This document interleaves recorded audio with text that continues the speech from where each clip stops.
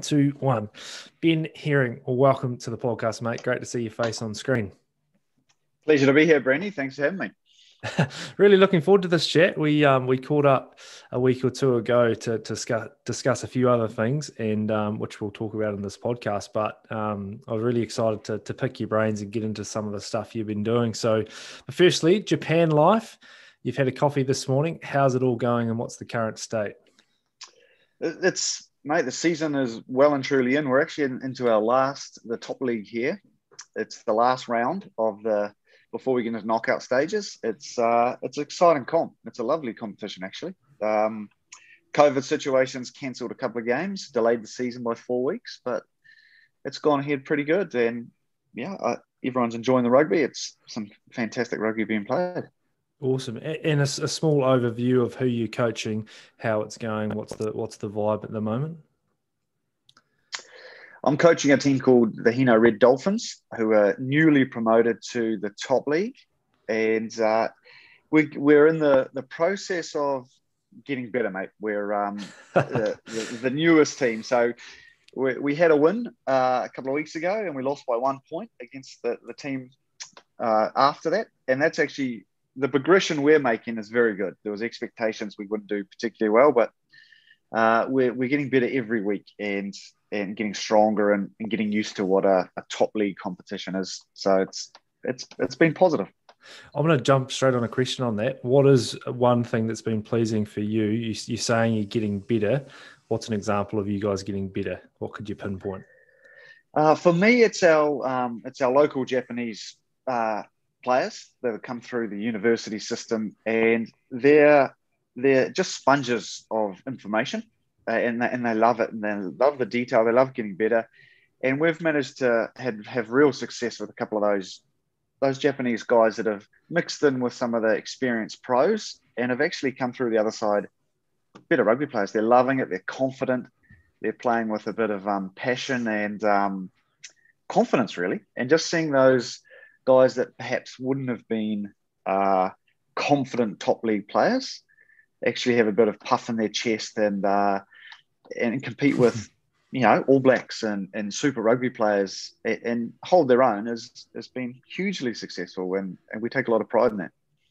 I suppose that, that is one thing, right? You, you, get these superstar players coming over to play in the comp, and then the mindset of the local players. How have you gone about getting them confidence and hey, you guys can match it with these, you know, people that have dominated um, international games. How have you gone about that? Well, we've taken the approach that we um, we, we know what we are. We know where, where we are at the moment, and with the reality is we're we're brand new. So let's not grill players for uh, you know mm. not you know not being able to compete at Beauden Barrett's level for example. And we take those, we just try instill that confidence that we're trying to win every game, but winning is not the result. Winning is just small increments of getting better against yourself. And we've really driven that at training, like you're competing against yourself just a little bit, one percenters all the time. And it's it's more so about the confidence. Like if if someone missed a tackle but less than the week before, that's a massive upper. And just yeah. to keep that uh, instilling that kind of um, progression has been really successful for us, and perhaps that's not what a lot of um, dare I say it, the, the university coaching that Japanese players get here is not that. Uh, it's very much you, you don't win, big trouble. So yeah. to have um, to have something a little bit different, I think has been quirky and unusual, and it's um, I think it's gone relatively well. I'm sure the boys are enjoying a little bit of your compassion when it comes to, to coaching. So good work, mate.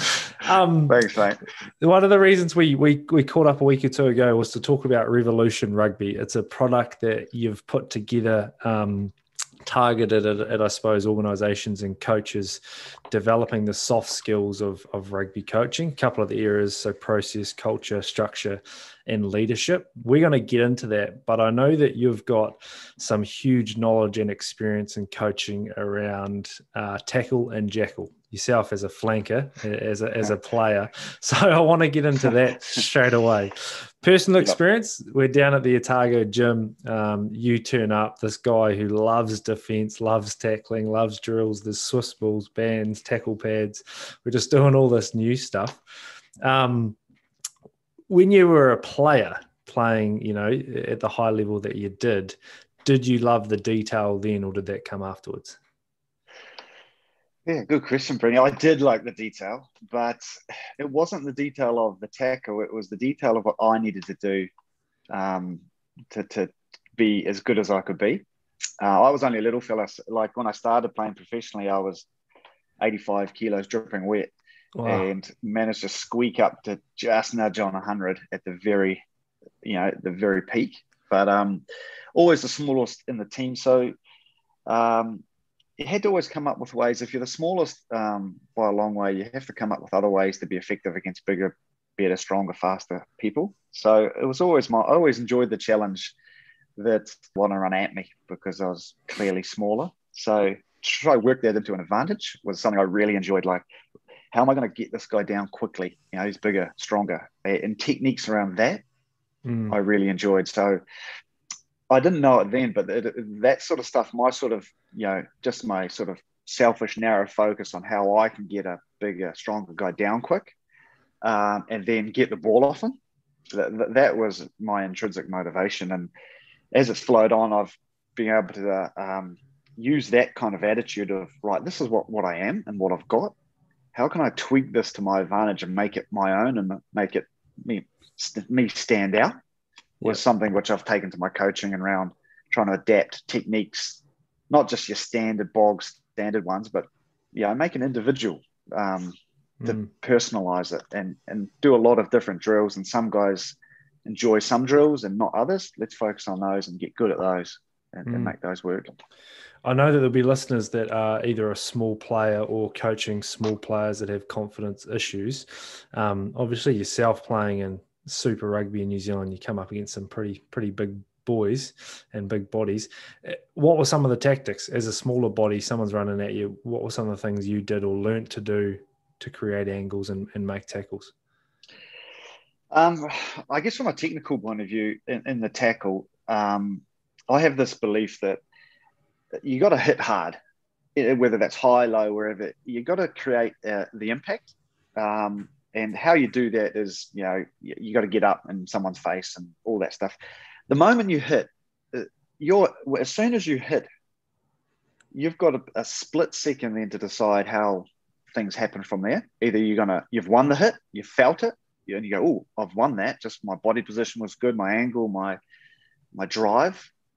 So in that second, then you work out what you do if you win that hit, hmm. which is you know, drive forward, grips, twist, finish on top, all that stuff. But the other aspect is for a smaller person is a good chunk of the time when you get that hit, you'll realize straight away, I'm not going to win this. Um, physics, momentum, I'm not going to win this battle. Yeah. So that's the other half of it. And for a smaller guy, it's probably going to happen 70% of the time. If you're a bigger guy, maybe it's only going to happen 40% of the time. But working on that, so right, 70% of the time I've got the hit and I'm losing. So then, how do you use that that momentum, that body weight, that losing to trick the person into doing something that you want them to do? Yeah. So it's very judo-ish, you know, like I've hit, they can feel they're going to win, so they're going to keep trying to dominate. If I can then use my body weight as a tripper and, and use him to fall quickly or her to fall quickly, those techniques, those sort of judo-ish techniques, but um, it all comes down to you've got to actually get a hit to actually know whether you're going to go dominant or or, or flip them passively. Uh, for me, that was really important, and I think it's a really good, um, simple philosophy. Get a good hit, and then see what you have to do next, and then practice those skill sets. One hundred percent. Do you think, as a whole, we're we're practicing those skill sets enough? I think about we put a tackle bag in the middle of the field. We we almost sort of co- coach one tackle, a dominant hit, get off the line, smash a tackle bag, they go backwards, you go forwards. Do you, do you think we we need to start coaching this stuff earlier in the piece to, to younger players? Yeah, I, I like. I think it is. I think one way tackling there's so much variety, isn't there, Brenny? Mm. So to just mm. do one way is yeah, you're going to miss a lot of tackle tackles if you're just trying one way. We certainly know here in Japan, for example, there's uh, traditionally the tackle's been taught 1980 style, just dive at ankles, and that's yeah. the style. So um, it, it does it, it, it, does work now and then. It, sometimes it can be fantastic, but a, massive chunk of time, players are getting the heads on the wrong sides, they're getting knocked in the head, they're diving and any sort of footwork, and you miss. Mm. Um, so training like a, a, a, sort of more techniques and a bigger bigger variety is is kind of good. I think. Yeah, yeah, hundred percent. Well, I think of it like kicking, right? You got box kick, goal kick, drop kick, grubber kick, punt kick, but then we just yeah. say t- tackle. Like, yeah, why, why can't we have different styles of tackles and have it, you know, coach and here's here's a low chop, here's a higher hit, here's a dominant hit. Um, yeah, I, I think we can start that conversation a lot a lot earlier. I, I think it's also really noticeable too, um, Brenny, that as soon as fatigue is entered into uh, um, an equation, particularly with the tackle, all technique tends to go out the window. You can practice on a tackle bag on the line, go hit, wait to the back of the line, do it again. But when you've got 40 seconds of um, lactic acid build up in your legs, uh, yeah. it sort of uh, it, it, tweaks your thinking. Um, I want to ask one more question about tackling. You, are coaching a team who you've said you know they're they're improving. What's an area on defence where you guys are trying to get a little win across the park, or or a current focus at the moment? Yeah, um, well, that certainly in Japan. Our my my biggest um, criteria when I started was getting out of the um, default pattern of going at ankles, diving off feet on ankles, dropping your knees to the ground. Um, that was twofold. Uh, firstly, a lot of guys getting knocks in the head.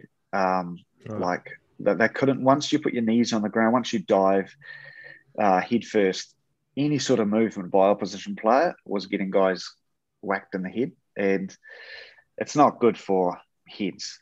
It's not good for people's long term. It's not good for health.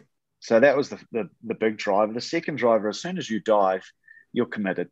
And we're coming up with uh, it's Japan is a very fast, high stepping game. The amount of missed tackles you get when you go off your feet is is a really high percentage, um, and it leads to a lot of reaching with arms. So not only were we getting hit in the head, we were getting um, we were missing a lot of tackles and tackles you shouldn't miss, sort of yeah. front on tackles. So uh, that that's been our big focus is to to go a bit higher, which is a sort of unusual sort of concept, but it's it's the landscape where we've got here is trying to detrain the automatic function of just diving at ankles.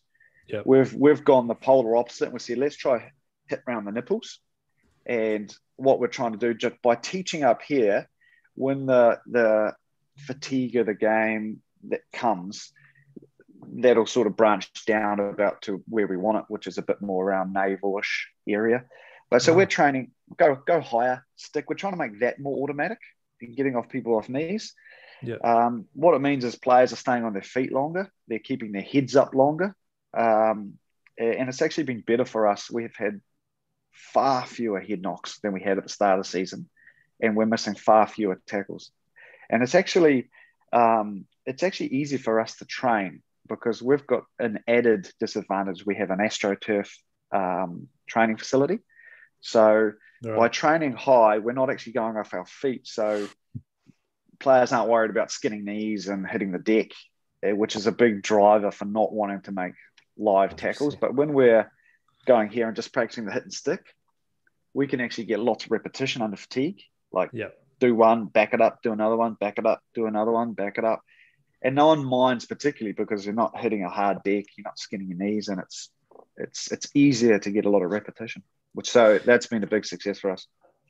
Mate, there's some there's some gold in that. The first thing that I could hear when you started talking about the the nipple target, have you had any issues with height? No, we no we don't because, and this is pure speculation, Brenny, but because the the inherent nature is so low, and we're right. training here, it feels like under fatigue and the things of a game, it comes back to sort of a, a nice equilibrium, which is in the middle. Yeah. Um, it, that's what it feels like anyway. So we're training here. That's where we're anchoring, and this is where we were, and we're finding a in the games we're finding sort of a nice, nice middle point. Um. We're taking it to one extreme, knowing that it'll naturally come back under the normal, you know, stresses of a game. Yeah. So we haven't had any cool any any uh, any issues with uh, high tackles. In the next part of the game, I want to uh, touch on is, is, jackal work. When you played, obviously you could make a tackle stay in there and just pop back to your feet and, and get your, get your turnover. Um, things have changed a little bit since then. You, you came into, like I said, the, the Otago gym. You had um, people doing Swiss ball drills and rolling around and, and getting to their feet uh, in unique ways. Um, you, you, still put a lot of emphasis on that across the board with, with players. Um, it, not not um, with all players, Brenny. I, I don't think um, putting your head over the ball and, and, waiting to get hit is everyone's cup of tea. Um, I agree. there's, there's, there's, de- there's, definitely a mindset of people that love it and want to get better. So those are the people that um, I enjoy working with. I think trying to train people that aren't big on getting there. Um, you know, guys like yourself, probably like um, you, you, the, your expertise is not not that area. And, and largely, you don't want your your tens who are controlling games to be stuck at the bottom of dark places. You want those guys up, looking, controlling, you know, organising that sort of thing. So I think the first thing is if people love it and want to get better, they're the people you work with because they've got the they've got the intrinsic motivation to do it well and get better. Um, trying to change someone's psyche from not wanting to do it to do it is is quite a big ask and then yeah. for them to do it well is that you know another step on top. So I know there's the concept of get everyone's skill sets good, but for most teams not at the highest level, uh, I think it's it's bigger bang for your buck to get the, the people that want to do it better rather than trying to get those that don't want to do it to actually do it in the first place is yeah is better bang for your buck. So at the moment, we're, playing a game. A, tackle's happened right in front of me where I can go in and, have a crack at a jackal. What are some of the the tips or advice you're giving, or or things you're seeing players often get wrong, or going off their feet, or just not staying in the fight to, to win that turnover? Yeah, I think. Um, the, the decisions you what you make need to be in terms of getting the ball need to be automatic. If you have to think about what you have to do, um, you're probably not going to get it. Mm. So getting that instinctiveness to see the picture, which is someone falling, and it's like I guess the image is like a tree falling, um, and if if you can get players knowing that they're they're racing towards where the tree's going to fall, is mm. is quite a nice analogy. So you see someone falling in a tackle, that's where you need to get to. And if you can get them with the ball on their chest, that's when you're on. So th- that's the decision making we coach is if you can get to a point, you can get there early in good position, you can keep that ball on someone's chest so they can't long place, mm-hmm. then that's a jackal opportunity. Then the techniques around that is uh, you dig like a dog digging in the sand, you know, just get furious on keeping the ball on the chest and twisting and turning and getting that ball up.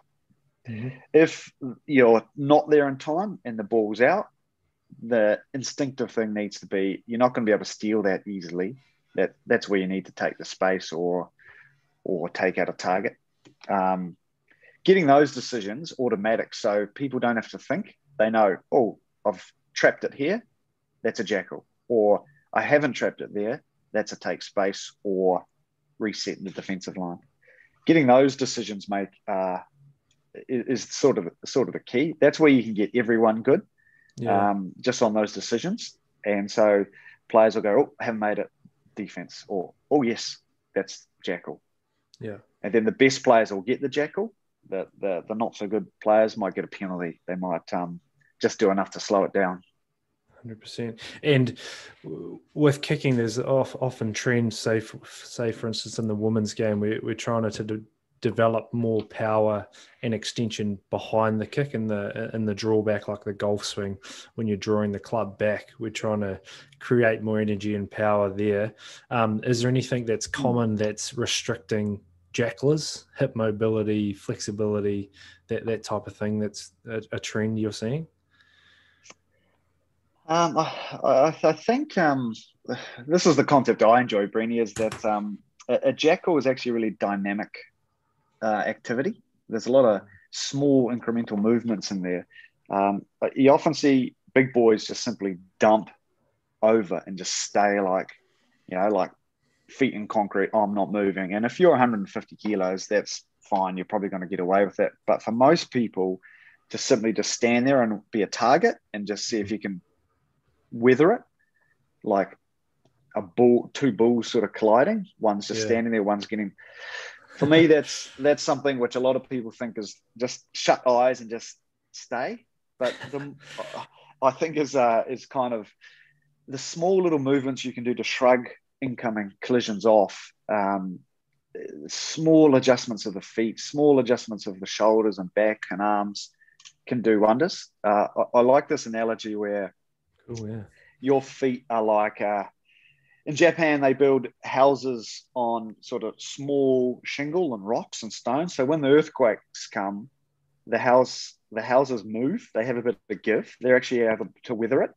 And it's kind of the same when you're in that vulnerable position where you're bent over, someone's going to collide with you, like give you a real big knock. If you're haven't got the ability just to move and have that little bit of yeah. core, that little bit of dynamic to absorb and shrug off impacts, you can actually stay in there longer. If your foundation you're building is like there's no give, when the quake comes, the building simply cracks and topples. Yeah. same when you get hit in a ruck. Like if you're just anchored and you're not 150 kilos, bang, you get blown out. If you've got a little bit of give and you can twist, that guy might shoot over the top or twist around the corner or enter into a different sort of clean out. Oh, mm. That's where there's a lot of that's the art to to jackling, I believe, is the, the small movements you can do mm. in those very dark, horrible places.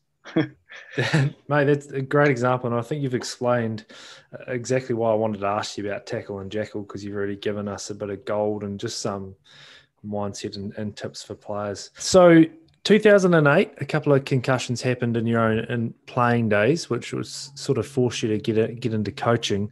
And was it? Am I right in saying your first coaching gig was at Leinster Tigers?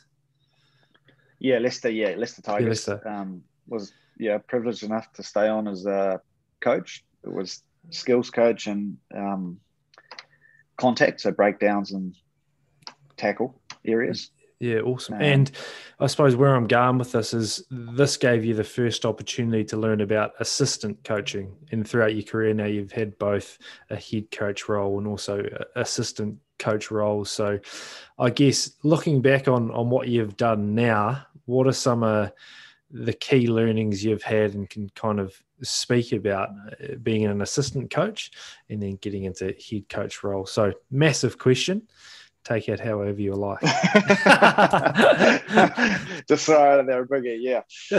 Uh, yes, uh, look, in, in terms of me, what I was privileged with um, starting in a place like Leicester, in there, it, it, was the sort of golden era of Leicester where um, the, the, squad was phenomenal. There was mm. more internationals in the B team than than most A teams. Uh, so the, the clientele was just incredible. That we were winning a lot. Wow. Um, what, what it gave me as as a new coach who hadn't I hadn't done much uh, thought much about coaching before. I'd sort of coached age group teams and I always enjoyed it, but I never thought seriously about it. But having the access to delve into players of that caliber and and understand techniques and mindsets and things like that was uh, an amazing start for me. So I, I gathered a lot out of it, and and for the couple of years that I was there doing that, it was it was awesome. Um, and I think uh, my biggest learning as an assistant coach is uh, versus a head coach is that the head coach is a bit more big picture. It looks after the bigger whole, the culture and environment, and and pretty much lays the foundation for the assistants to be able to go well. Yeah. Um, create an environment where assistants can um, plug in all the detail, all the um, all, all the, the micro stuff which players enjoy. And, and for me, that's the, the kind of the bigger difference. I, I, definitely prefer the head coach and looking after the bigger picture, ensuring there's an environment where the, the, the people that love the detail, that are uh, that enjoy that that side of things can really flourish. And I would say, based of, off what we just spoke about, you're a guy who loves the detail, though. Uh, I love the detail in certain areas, Brenny. Uh, certainly, the individual tackle tech, the the context, the collisions. Uh, I love I love that stuff. I love the detail of that. Um, but I've I I, pref- I more enjoy cre- creating, uh, helping with the environment, um, making sure people are confident in what they do. That players turn up wanting to get better. That um, that there's a mood as such where uh, people are accountable, responsible, and to get out in the field, you know, intrinsically motivated to to do as best they can. That's what I enjoy more. I, mm. I hmm. do enjoy the the smaller detail, mate, but my knees and body don't hold up to doing the demos anymore, mate. yeah, yeah, yeah. Well, um, and, so that's probably the, the big difference. I suppose as a as a head coach, do you sort of build that into your your week to get your fix of the hands-on coaching along with the the big picture stuff that you really love? Yeah, I've, I've had this philosophy um, that I grew first time that I came to Japan about ten years ago. Is I really enjoy when I just whenever I need a sort of uh, a sort of a, a, detail fix. I just laser in on or narrow my focus down to one or two guys that that need it, and I just say, right, this this guy or these two guys are my guys for the next two weeks. I'm just working on this aspect of them, mm. and putting all the detail into just a, one or two guys for a couple of for a week or two or three. Yeah. And, and for me, that's that, that's a really that's big bang for your buck because they feel yeah. the love. So big picture, they get confidence because the coaches given them a lot of one on one. But the growth that you see when you're giving that sort of one on one is is is really cool. And I've noticed when you start doing that, those guys and, and girls grow really quickly. But then the team sees that, and then there's sort of like a mirror, and there's a lot of copying, and then people tag up with those individuals, and it, it sort of spreads this yeah. this positive feel. And it's not always, well, in fact, very rarely it's the best players. It's it's the guys at the time that I feel like I can connect with that that person. There's something there that he's struggling with confidence over this aspect. If I just, you know, ten minutes after every session for the next three weeks, just focus on that guy with this pro with this problem and these solutions, we're going to see some massive growth in him, him or her. Yeah, and it'll flow onto the team. I, I love that. So you had an experience there where you were coaching some seriously good players and, t- and, talented players. And then you had the opportunity to go to, to Canada, I'm pretty sure, and coach some of the, the female players there and work with them. Uh, for your coaching, I'm sure you found that hugely beneficial. Yeah. Do like coaching. So, Brenny, I, I, I love, um, so when I started this and got hooked on coaching and, and just thought it was a, just a beautiful profession. I um I had this concept that I didn't want to stay in an environment for longer than two years for the first ten years of my coaching. That was I, I talked about it with my wife and said I, I want to I want to go as best I can as a coach. I want to learn the art of coaching. I want to be a, a good coach, not a good regurgitator of of structures and systems that people do. I actually want to be able to mm. like we talked about at Revolution Rugby, grow the art of coaching, the soft skills of rugby. So I, I had this theory and that 10 years I'd go hard and at the end of 10 years I'd see where I'd got to and I had my certain goals I wanted to hit in terms of the type of teams I've coached. Um, but so two years at a place, then I felt like in order to um, advance as a coach, I had to keep changing, change my culture. Um, so I went to Japan after Leicester. Then I went, as you say, to Canada and coached the the women's national team there, and then to New Zealand, the coaching super team there, uh, head coaching with Otago. So all these different two year blocks. Mm. Um, and the the thing I really enjoyed about all of those was it just threw me into a whole new thing, and I had to get, just couldn't coach the system which had worked at Leicester or other teams I'd been with because it just didn't work. I got found out and exposed, and I realized pretty quick that just because it worked there, it's not going to work everywhere um, and it, that was just you know a system which worked for those people. So when I went to Japan, all that stuff that I thought was you know your gold standard stuff was mm. it didn't didn't bear any weighting. Some of it was good, some of it was relevant, but a lot of it was didn't work at all. So certainly Japan exposed that for me in that um, the culture difference there, the way people learn, the way people get motivated was hugely different. And the way I'd learned at Leicester, yeah, I had to rethink everything I did and the way I approached it. And that was highlighted even more, and hence why I went to a national women's program, which was good, was you know, that's another whole shift in your coaching. When you're coaching professional men at a super high level, then you coach Japanese semi-professionals, and then you mm. coach women. The the difference in personnel, not just playing wise, and uh, you know the way they think, educated, um, gender differences, which there are a lot, was was incredible for my um, I guess empathy, coaching empathy, and and understanding what drives different people and how I would have to handle myself as a coach. Mm. Uh, grew me immensely, and it it certainly added to my coaching toolbox. Um, the biggest ones, Breeny, I'm sure you appreciate this, is uh, and with with uh, coaching ladies is the the the what the questions of why. yeah. I um I just it used to blow my mind. I, I, we make a video online about um, that one session. I just did a warm up drill, and one of the ladies asked why, and I couldn't answer. And I just got home, and I just realized it was because that was the drill that I'd always warmed up with, and I just and this lady hadn't warmed up with it, and she asked why. And she kept asking me why are we doing this, and I just thought it was a great process for me. As why are you doing stuff? and so mm. reassess or, or, always ask why and the ladies taught me that and i yeah. think uh, uh, uh, that some of my best coaching growth came from that uh, that couple of years in canada you said you had your your 10 year plan two years at a spot what's what's the plan now three to five years yeah um, so when you do two years at a spot, you you certainly get really good at uh, understanding what's in front of you. And was that to, sorry sorry to cut you off?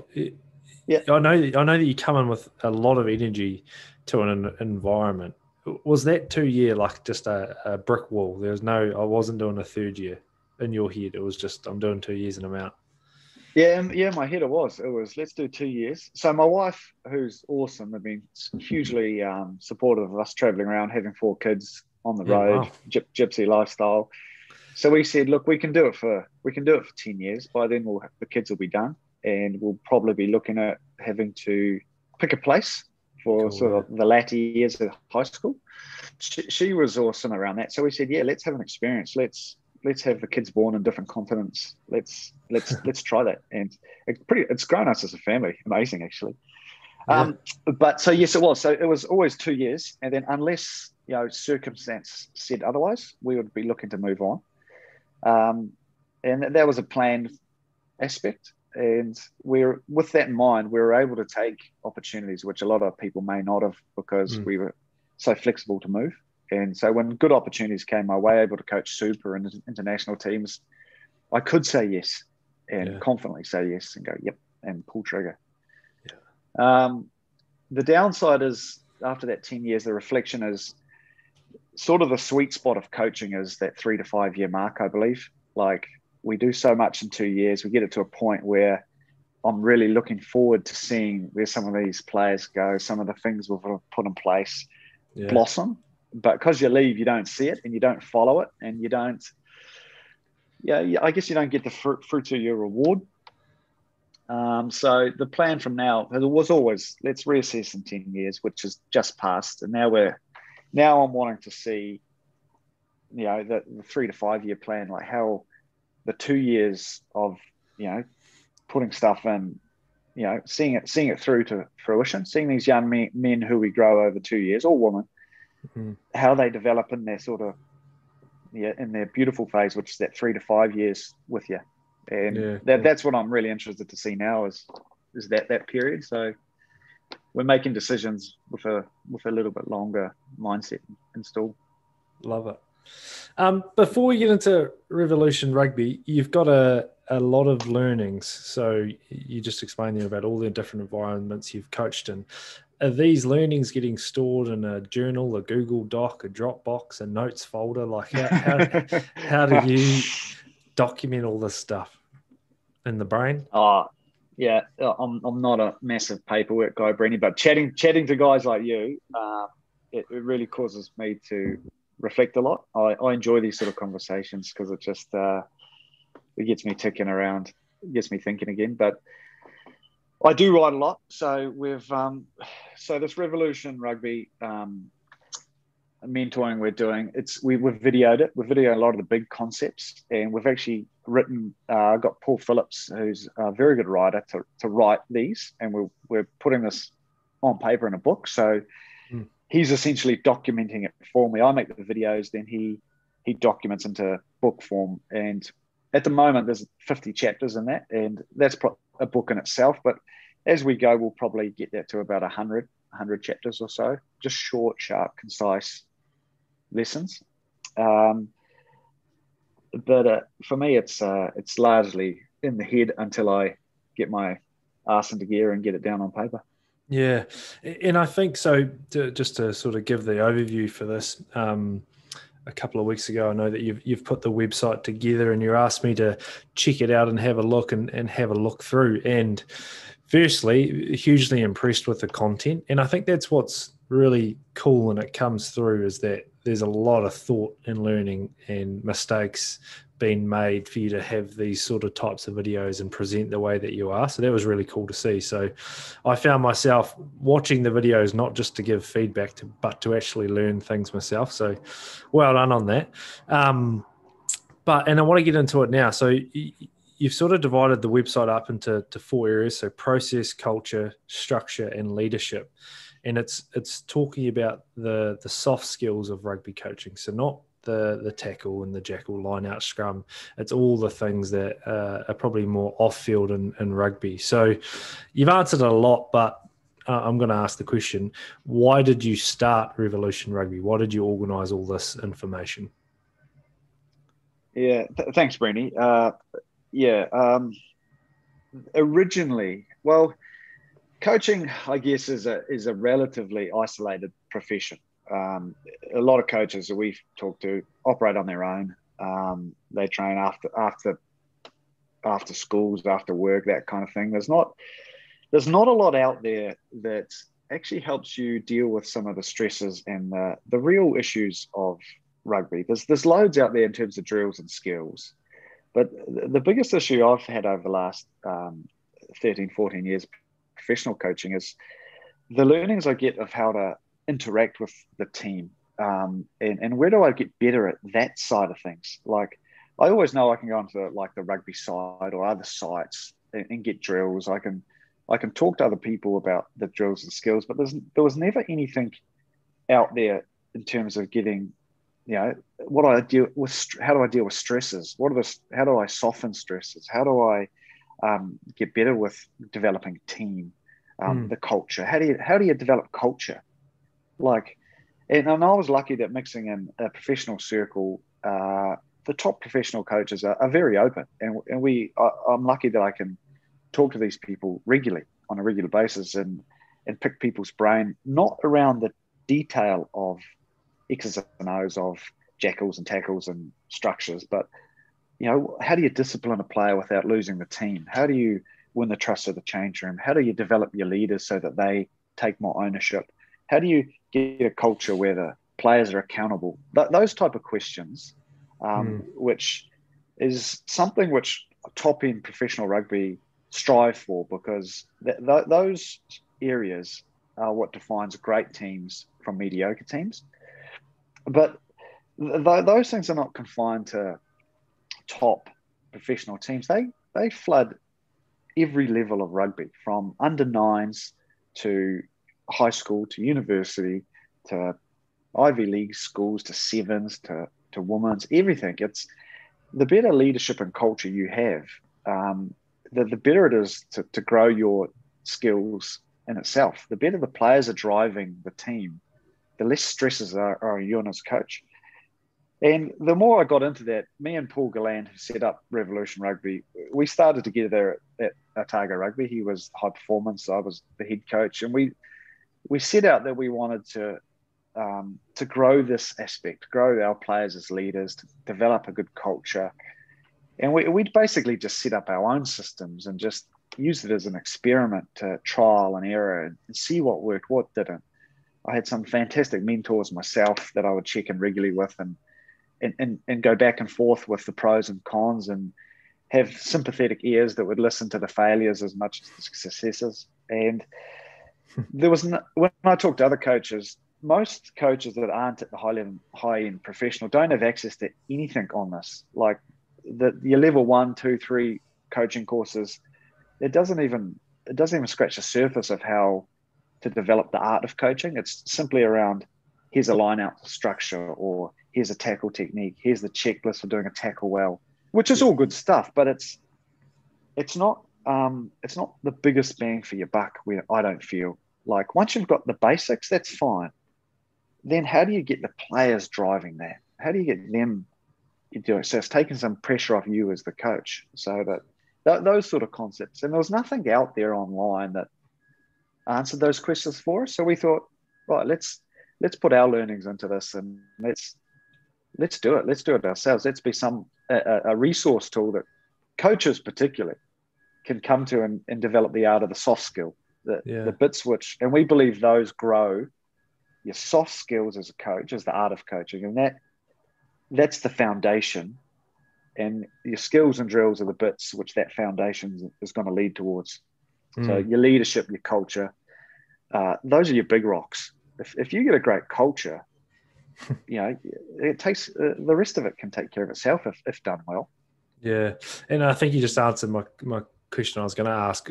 If if someone says to you, Ben, like this is all just bullshit and butterflies, all this stuff, what would be your message to that person about why this stuff is so important, and is that the foundation? Yeah, well, and yes, it's definitely some, and the interesting thing, this is the way things are going anyway. There's a, there's a, there's a, you can feel a shift happening from the old school way of coaching, the dictator up front saying, this is the way to go do it. And don't get me wrong, that, that has its place. Um, and, and, and that needs to be done at times. At, the buck stops with the head coach, for example, and at times that is a very effective, good way of doing it. But modern rugby audiences aren't used to that as much. So if you're hmm. coaching in the old school way, you're now coaching uh, a new age person, a new society, new generations change. They they change every year. There's new ways of doing things. If you stay in the old, you're not maximizing your effect. Yeah. So you've got to mold to what's coming through. You, you certainly keep aspects of that, um, but you know mold to the new to be more effective. Um, in terms of the butterfly, uh, in terms of the airy fairy, oh, this is all nicely stuff. I, I, just, I just, um, I like to think of it like this: like coaching can be stressful. Like it is a stressful thing, and when you're dumping it all all on yourself, as a coach, you can burn out pretty quick. I, have burnt out certainly in the beginning where I tried to control everything, mm. um, and just said, "I'm running it. Let me do it." Josh, the, the stress that I took home, I took out on you know, like it, it flowed through to my. I'd get home and it all work would come with me. It would, I'd talk to my wife and it'd come out in her, it'd come out the kids, and then I realised that the players at the level I was coaching know as much more than me, and certainly in the individual areas, they know way more than me. Why aren't I using their skills, their expertise to help grow us all? And the moment where I got rid of my ego and that um, that coaching ego and said, right, let's let's go together and let's get people driving their little areas, and I'm just becoming the facilitator of yeah. them excelling. I just the stress levels went down unbelievably, and what we did was so much better because players felt accountable, and the culture was that if you knew your stuff, the expectation was we want you to deliver that stuff because you you know it. Um, if I try to keep it, say no, you don't deliver. I'm the coach. I deliver, for mm. example. Then all that stress comes back on me. If it, if it fails, I feel the stress. I feel the pressure from everyone but when players have the responsibility, accountability to deliver, for example, a certain yeah. aspect, then they get together and they go, man, we don't want this to fail. We, we need to get, yeah. And then there's peer pressure, then there's social responsibility, then there's leadership requirements, which they have expectations of. And then the standard lifts. So the standard lifts and the pressure comes off. And for me, that's when uh, that's you know that, that's where the advantage is. If you try hold it in and be that, you know, I'll decide I'll run the ship the whole time. Yeah, it just it, that's what um you lose the fun and you lose the fact that it's still a game. Yep. Really well explained by a guy who's been through it. It's really good. Um, so I want to go into the, the four areas and just touch on one point from from the website. So the four areas again leadership structure culture process. First one leadership. So there's a couple of awesome videos and i'll read a couple of titles just so people get a feel for for what revolution rugby is. So leadership um, values make it easy save your bullets positivity as a base. Those are three different videos on the website. Um, and one of them is does your personality affect the team? So my question for you is is does your personality affect the team what do you reckon? yeah. I watched the video this morning, so I know the answer. But yeah, yeah. Keen, for you to t- touch yeah. on it. Oh, I, I think so. I, I, don't think there's any hiding from the fact that um, whether you like it or not, as coach, particularly head coach, and you might be the only coach in whatever level you're coaching, you are a leader. You are probably the first leader um, of that group, and you set the tone. And your personality does set the tone um, of, of, whichever way that goes. Um, let's just take those classics. If you're a dictator, that's your personality. You're going to set a, a tone and environment which is going to be a dictatorship and a hierarchy down the order, and that's going to flow through the team, whether it's conscious or not. Uh, people are going to understand that's the system, and it's going to be you're there, players there, there, there. If you're democratic, that all that stuff, it's going to flow on, and and it's just going to inherently flow. So whatever you your personality is, it's gonna it's gonna go on to the team. Um, whatever approach you take is gonna is gonna be reflected. You're the first leader. Your your tone, your behaviour. It, it, it's sort of it's downward traffic, and I think it's important to remember that um, as a leader. Um, I take I take a approach which is um, as much as I can. I try lose as much ego as I can um, mm. around that leadership. I think ego's uh, a massive word for coaching. Um, I think coaching inherently uh, attracts potentially people, you know, with a little bit of ego, and it can certainly consume you um, in a leadership role that you feel like you want to succeed. Of course, you want to succeed, and if you don't, you take it personally, and that's a personal affront to yourself.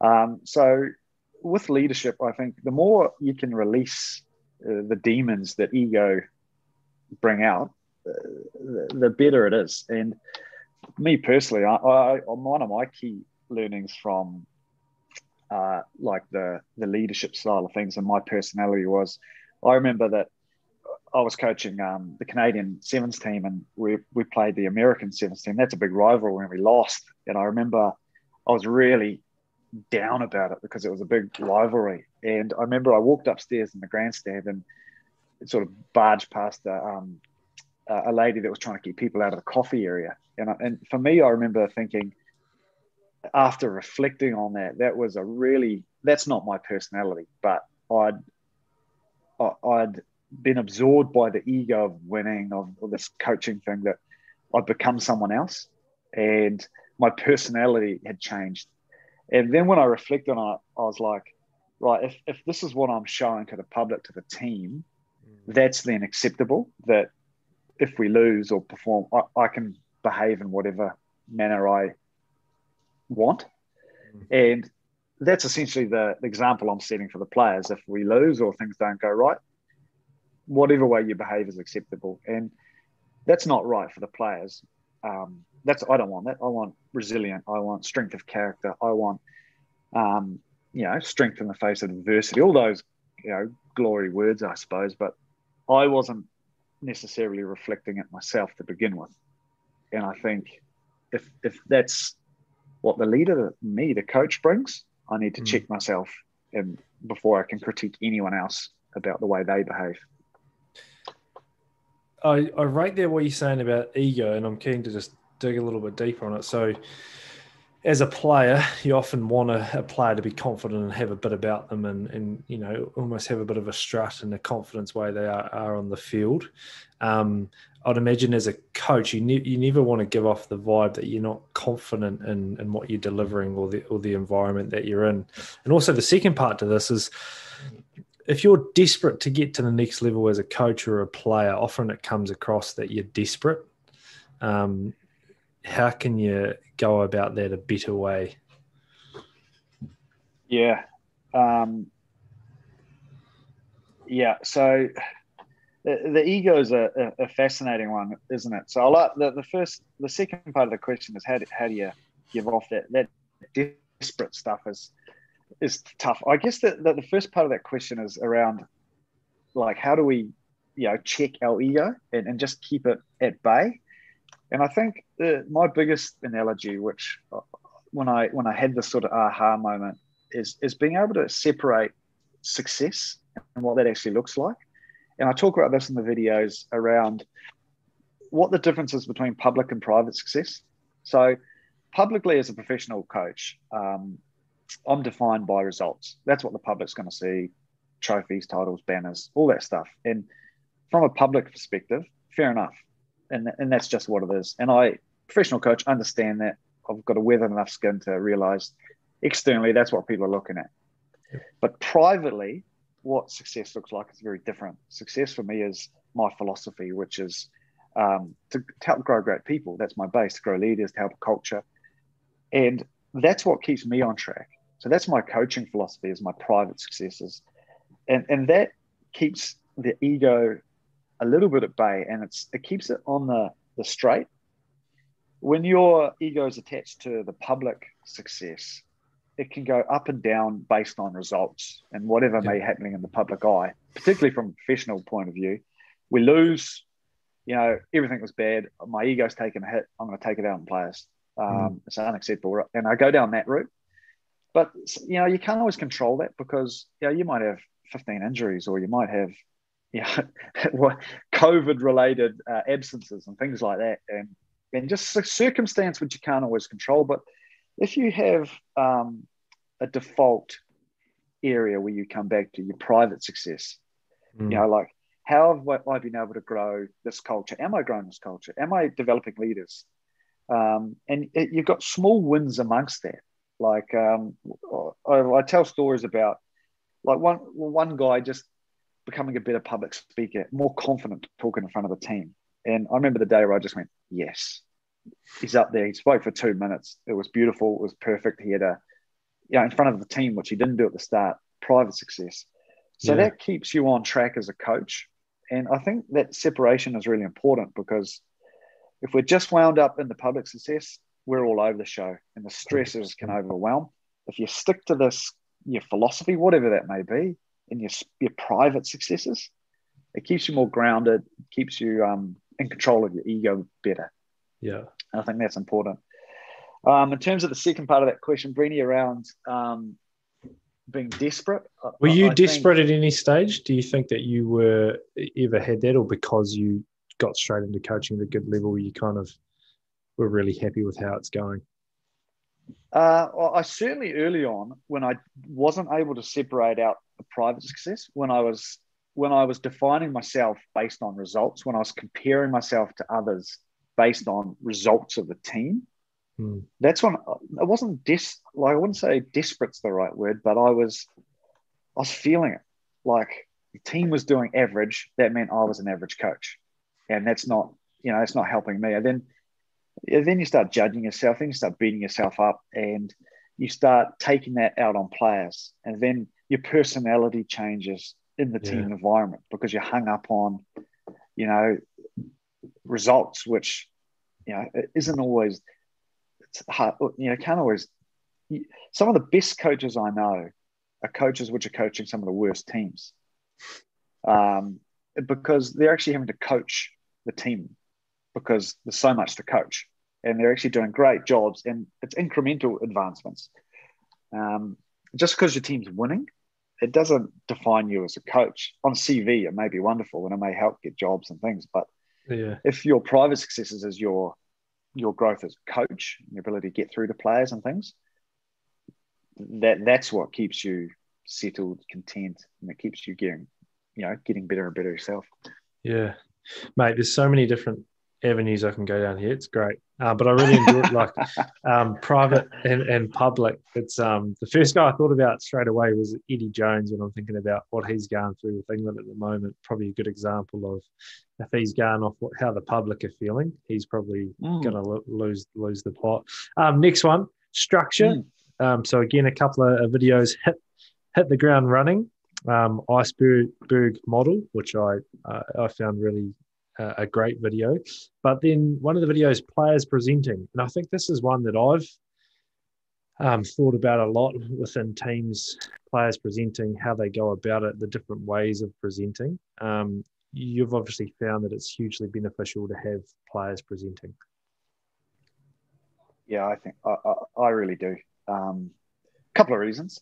Uh, I think first, first it creates uh, responsibility from a player's point of view. When you, even if um, you're getting up in front of your team and you're presenting something, and that, that's a for a lot for some for a lot of people that's quite a big. Public speaking is a is a pressure situation. It's a nervous situation. So massive, yeah. We want we want our players for a bigger picture, our men and women. We want them to be. That's a good life skill to have. To have confidence to be able to stand in front of a group and say what you believe in. That's that's a big picture concept. Um, if we can practice that concept in our use, using the vehicle of rugby, that players can get better at getting up and speaking um, in front of their peers about something they believe in, know about. That's massive. That's that's that's huge life skill we can be teaching. Um, rugby environments are great because people can, can always have confidence about what they talk about as long as you, the coach, frame it in a way which they can have confidence and you give them you make it easy for them. So it can be as simple as just getting some some players to talk about things that they know about. Like you might um, for example get your halfback to talk about what he or she wants uh, communication wise from the people catching the ball. And you preempt them by saying look we're, we're getting uh, there's a disconnection between uh, our halfback passing and our forward runners so before this meeting, can you just get up and talk about what you want mm. your forwards to be saying? And then that, that halfback has, uh, if, in effect, confidence to say, because he or she knows what they want. Yeah. And then they get up and say it. So they're not wrong. They're not going to make any mistakes because it's just an opinion. This is what I want. Yeah. And they get up and they say it. And they, they can be relatively confident that that's what they want. And you, the coach, have given them permission to say it. And you preempt it by saying, Steve or Sally's going to just talk about what they want. And you do that enough times, and gradually it becomes normal and they're confident, and it's great. So th- that's getting players presenting. And, and, the more confident people you can talk about, um, your tens can talk about what the game plan is going to be that week. Your leaders can talk about your mindsets. Um, if, if things happen off field, you might have sort of social people that can make calls in front of the team around right, after the game, we're going to do this, or this incident happened after a game last week. This is how we need to approach it. And, and you can, the more you can do as a coach to have little conversations before the fact. So you're not just throwing someone up there uh, off the cuff, because, you know, um, what do you call that? Um, impromptu speaking is a, probably the hardest form of public speaking. So you don't want to impromptu it. You want to you know, make it easy for people. So to even start with, some of that stuff can be very scripted. Here's mm. what I think you should say. Say that. Mm. Are you happy to say that? Yeah, I'm happy to say that. Okay, just say that. And then it's confidence because you they're just a mouthpiece. Um, And as they get more confident and more, you know, reassured in the environment, they'll start taking that wherever they want to take it. I think the second thing Brenny it does is it just takes away the monotony of one coach's voice. Um, I, I, like the, that concept that your word and your tone matters. Like if you're a um, dictator, for example, and you want to have power, if you're constantly shouting and making noise, it can come a little bit of white noise. Um, like, and I, I mentioned this around parenting is if you're constantly yelling at the kids, um, they just don't listen after a while. And when dad yells, it's like, oh, whatever, dad, um, and they don't pay any attention. And it's the same with uh, players. If you're constantly their voice, uh, when you go to that voice, it doesn't have as much impact. And, and I want when I go to angry dad, angry coach voice, which I don't do very often, but when I do, I want it to be have impact and to actually yeah. get instant results. Um, if my two year old's running towards the road and he's constantly used to me yelling, and I yell for him to stop, and he thinks it's just another one of dad's things and keeps going, that's when we're in trouble. But yeah. if if I yell stop in a certain voice, I want him to go, whoa, I need to listen to this. And so by getting um, other players to talk, it, um, it, it makes when you talk have more impact. And when you talk, you want to have impact. And the more you can delegate, I think it, it, it adds weight to your own words. Mm. I, and going back to that simple example of the halfback just getting up and, and delivering a message on what um, he or she wants from a receiver, and then they go and train it, you see it, the ownership starts to, to happen. And I think contribution uh, is we can never underestimate contributing to any environment, any conversation, sitting around a table, literally having a voice. Okay, cool, I'm contributing and I, and I feel bloody good about I'm, I'm a part of this. So I, I really rate it. And it doesn't have to be a massive presentation. Something as simple as what you just said is is key. Um, mm. Culture, a massive word that gets thrown around a lot. So uh, again, a couple of the videos, culture is king. Win win the change room. Is there a reason why it's win the change room, not win the changing room? I was wondering on your website. That's probably just a grammatical typo there. I thought there might be a unique reason behind it. Um, no. So win the win the change room um, and something bigger than yourself. So I want to ask about you're heading into a new environment. You've done your two year stint like you did. You've gone to this brand new team. Um, you may not have been allowed to sit in on anything. You're literally turning up to coach this new team. What are some important things that I uh, that you think are, are, good to do maybe in your very first week of, of getting on field with with a team when it comes to culture? Uh, I think the biggest one that my, my, learning around in that example, Brenny, around you, you're in a new environment, first week in the on the job. Um, I think the the best thing you can do is actually um, as simple as the sounds, but you can learn everyone's name off by heart. Um, there's something about um, what that does to you. I had a coach do it to me um, that came into our environment, and he knew everyone's name before he got there. And I remember the first time I, I, would never met him before, and oh. um, when we passed, he goes, "Oh, hey Ben, how you doing? How's?" And he knew a couple of little tidbits about me, which he'd obviously, in hindsight, he'd obviously googled every player, got a couple of little bits, yeah. or talked to people, and got a couple of little things to talk about. Oh, how's I heard you, you and your wife have moved here from there, and I was like, oh, wow, oh. And I remember feeling when he said that. Now, after the conversation walked away, I actually felt I'm into this. This guy's got something, and I remember, yeah. I, I, remember the, the, the the feel. And then when I reflected on it, he would have done that to everybody, and then it just create this aura, this sort of collective feel where we're starting to buy into whatever this coach is bringing. Like before he did, he'd said a word about rugby he had me. Um, he was, I was like, I'm, I'm listening to this guy. What's this guy got to say? I'm intrigued. I'm excited about this guy. And all it was was because he made this little connection, which sounds odd. He knew just a, a little obscure thing about me.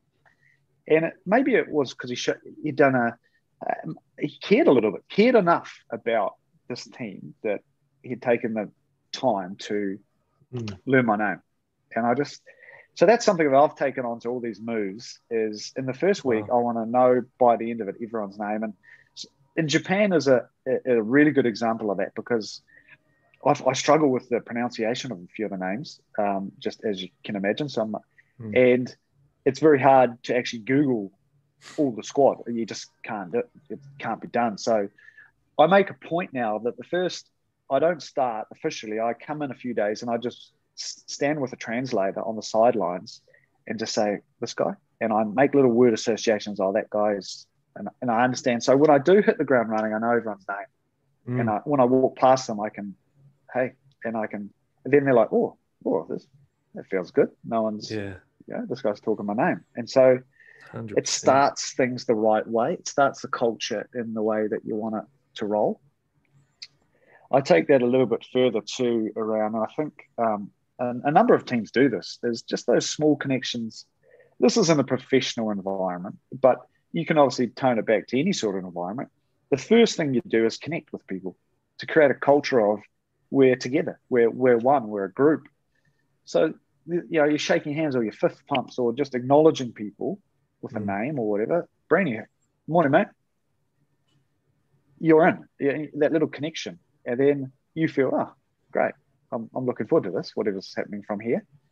And once, if the leader's doing that without fail every time they meet, it spreads like that's what culture is. It's a spreading of, you know, uh, uh, culture. It's the the growth of something. And you know, in biology, it's that like a yogurt, like a fermented product. It feeds mm. on itself. If a coach is constantly fist pumping people saying, "How you doing, mate? How's your day? How's the kids?" Then the players start doing that amongst themselves. Um, the players are looking for handshakes. When someone new comes into the environment, people are up high five, introducing, asking them questions mm. because it's something which has been instilled in the environment. That feeds through to better communications, better chat, more accountability. All those buzzwords flow yeah. on from that. I. I I noticed in your answer you didn't say get in a room, get into groups, and write down on a page of paper all the buzzwords and then put them on a whiteboard. Which, uh, as you as you as you, you may have done before, um, where are you at with that? Where are you at with uh, those those generic culture sessions? They're even called a culture session. Yeah. Um, um, where are you at with that? Yeah. I, I, I never particularly enjoyed going through them is when I was on the other side of those. And I think Agree. Talking to a few good friends of mine who are in education circles as teachers and principals and things, that's very much the rage in those those sort of things is you know that sort of discussion groups. But um, I, I, feel like it's I know I switch off on those, and I feel like um, I'm not a big fan. Some people it, can be good for. Uh, I won't knock it as a as a process. It can be right. I think it's um, it feels a little bit false and, and, and feels a little bit airy fairy, as you said it before. That sort of not airy fairy, but that um, lardy dari kind of it's happy feelings kind of stuff without mm. any real meat on its bones. And and I feel like sometimes you walk away from those and they're just words on a board or words on a chart. And if you don't do anything more, there there's there's no guts to them. If you if you do that, that can be great, but you've got to then take those and run with them and actually stand by them as your values. If you put in words on the board, this is how we want to be as a team. This is what our we want our culture. That essentially becomes your your creed or your motto or your mission statement. And you as the leader have got to use those on a regular basis as your basis for everything. If the, if if those sessions have produced answers such as honesty or vulnerability, whatever, you're then empowered and entrusted to make sure those are at the forefront of everything you do. And that's very hard a lot of the times to do. And so they end up, it feels like some of those word charts just sort of sit on the wall and just become yeah. words. And, and, no one lives by them, no one stands by them, no one drives them. Um, and they're just a little bit fake. So the danger is if you do those, they're almost hypocritical yeah. hypocrisy. Yeah. Um, anyway. And I think you're right. I know. Uh, I want to ask you two more questions. Yeah, you're nailing this podcast, mate. You, are giving a lot of gold, so keep it up. Um, two, two, two, two more Thanks, areas. buddy. Really, uh, but, but I think I think with uh, with culture, and you would have had the experience as well when you get um, PD opportunities to go and, and view places. You're not there for a culture session. You literally watch them for a day, and, and then after the day, go, "Holy shit, these guys do things really well," um, and you can feel it in the room, almost the atmosphere of the gym session, training session, or whatever. Um, last one of the four. So process. Um, again, some videos coaching as a team, uh, someone else's child, which I found really inter- interesting listening to, knowledge versus delivery, um, and then my absolute favorite one was analyze effort. It's one of the things that um, I, I'm massive on, especially as a player myself who didn't have that massive amount of X factor. Had to work for absolutely everything. I, I could control my effort, and it's probably one thing that um, I really stand by is analysing effort. So, keen to hear more from you uh, about that. Mm.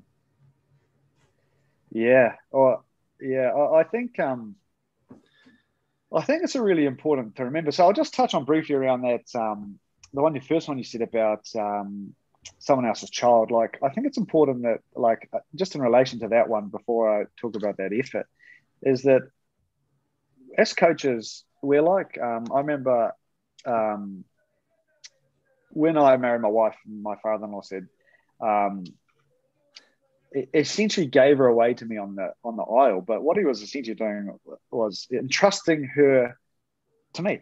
That I would, and and my parents were entrusting uh, me to my wife, vice mm. versa.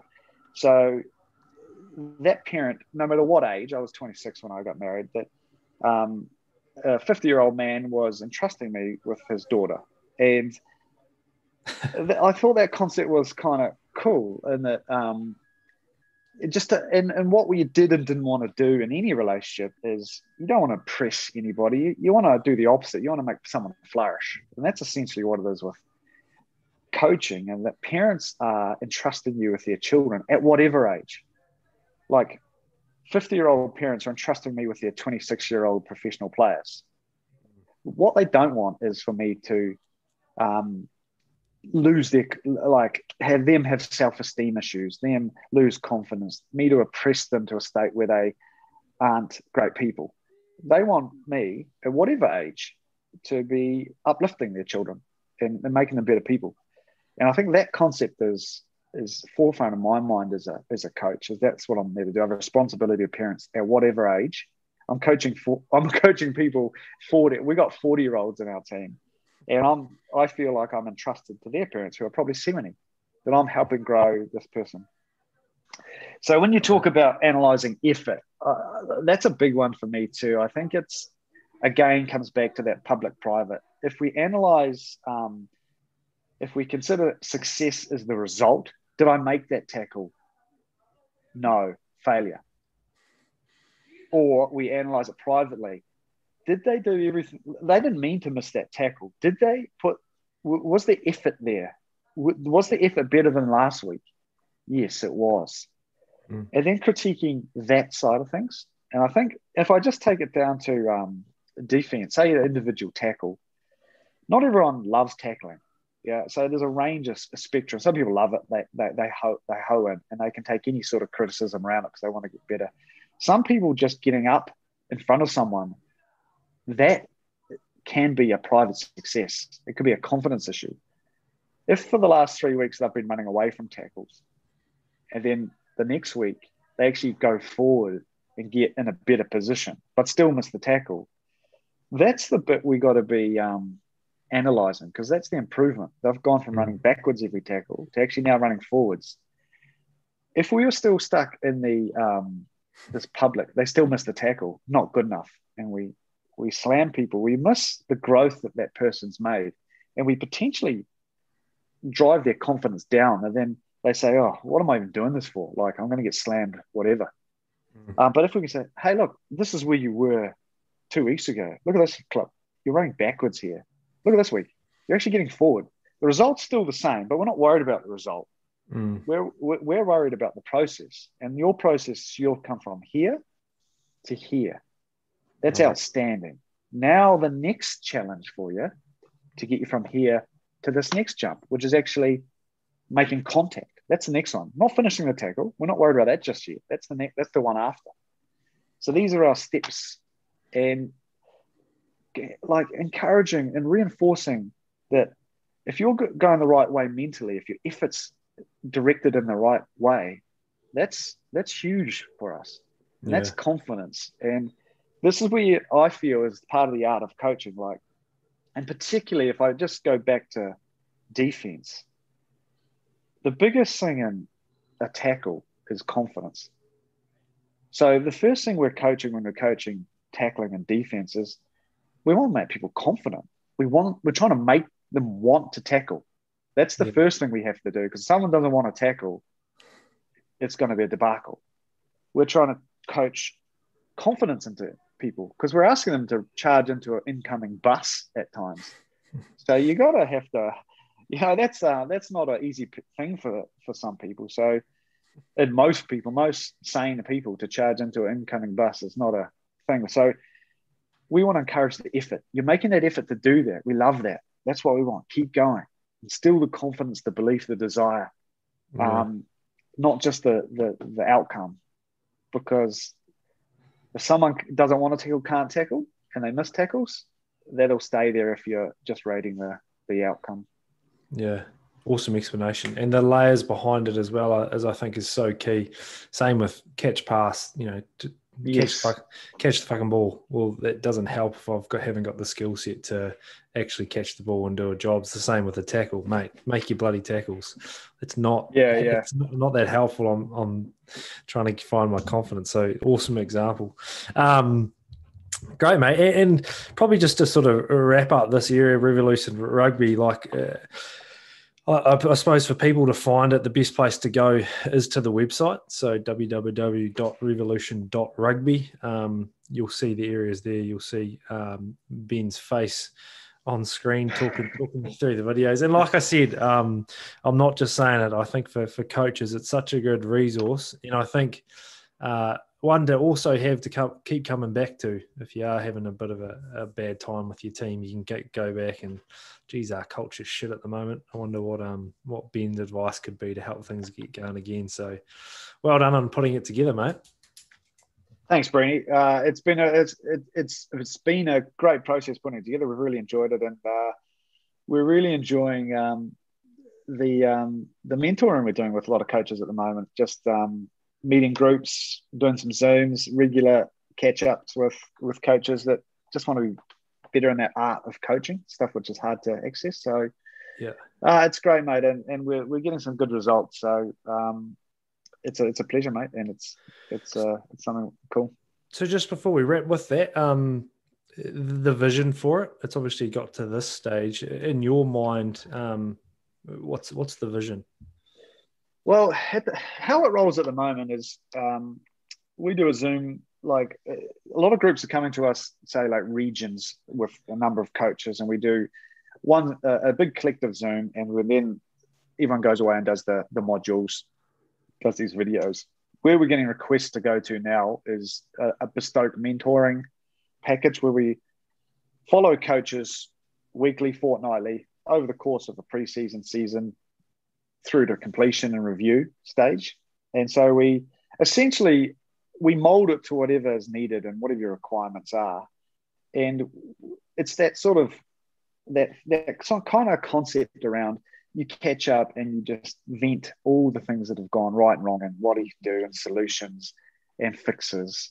And just having that someone you can talk to that's going to keep prodding you and pushing you as a coach around the, the soft skills of coaching and developing leadership and team culture um, and offering ideas for your situation. That's where we are get going towards, and particularly in areas where rugby is not look areas like America, for example, where the expertise is just so hard to to access the, the mm. ge- geographical distance. And for us, we love this. We love being mentors, both me and Paul, uh, mentoring coaches along their coaching journey and trying to grow them as better coaches and the art of coaching is where we want to head to. So it's lovely for me in that I, I can be a professional coach here in Japan and have yeah, a, a number of coaches which I mentor uh, on a weekly, fortnightly basis throughout the course of their season and grow them is, is something I'm passionate about and, and, and look yeah. forward to continuing. Oh, outstanding. Well, I'm sure. Um, I suppose if someone listening did want to make contact, are they able to do that through the website? Yeah, if, if anyone is keen to keep uh, to have a chat, just jump online. There's a yep. Revolution Rugby info contact, and, and there'll be someone there that can can fill you in. Awesome, mate. I'll um, make sure that all those links are in the, the show notes to the podcast. But that's us, mate. Time for, for you to grab your afternoon coffee. I know you've got the, the, the, day off, so enjoy that, and um, and good luck for the for the rest of the season. Legend, Brenny. Thanks, mate. You run a great great operation. Thank you, mate. Talk soon.